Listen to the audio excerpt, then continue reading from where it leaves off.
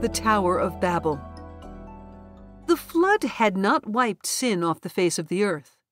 It seemed as if the people who lived after the flood had learned nothing at all from that horrible divine judgment. When Shem, Ham, and Japheth became great peoples, mankind turned away from the Lord again. The people on earth believed they could provide for their own happiness. They did all they could to make themselves strong. They wanted to be rich and powerful.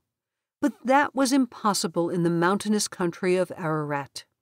Most of mankind, therefore, migrated to the east and found a more promising place to live, a fertile plain in the land of Shinar. This area contained a lot of clay which they could use to make bricks. It also contained lime, a kind of asphalt, which could be used for mortar.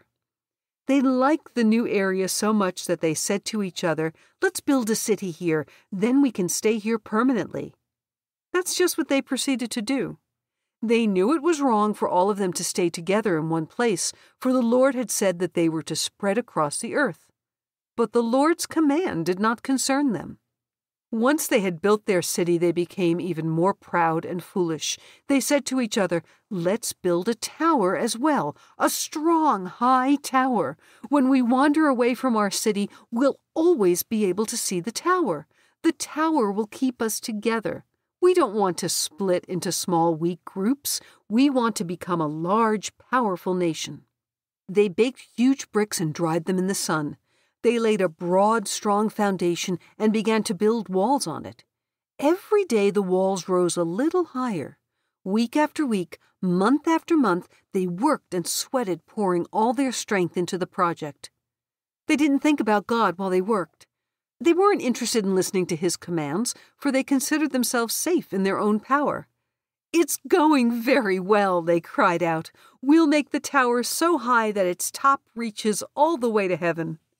The Lord God in heaven watched the work of the little people on earth and heard their foolish words. Then something very strange occurred a quiet miracle that the people didn't even notice at first. The Lord changed the words they used. Until then, they had all spoken the same language. Now they suddenly found themselves speaking all different languages. The sentence spoken by one man was a collection of meaningless sounds to his neighbor. The people building the tower didn't understand each other anymore. Soon quarrels broke out among the people.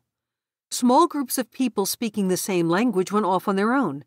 As they traveled away in different directions, they could still see the unfinished tower in the distance, a stubby finger pointing toward heaven. But they no longer cared about the tower or looked at it. Only a small number of people stayed behind in the city. There were not enough of them to continue with the great building project. They called their city Babel, which means confusion. The tower they were so proud of, the tower by which they hoped to glorify themselves, that tower now became their shame. It stood there for centuries as a reminder of a foolish plan made by little people on earth who refused to take God into account. The Story Bible for Older Children, authored by Anne DeVries and published and produced in this digital format by Paideia Press, is brought to you by the Cantaro Institute. All rights reserved.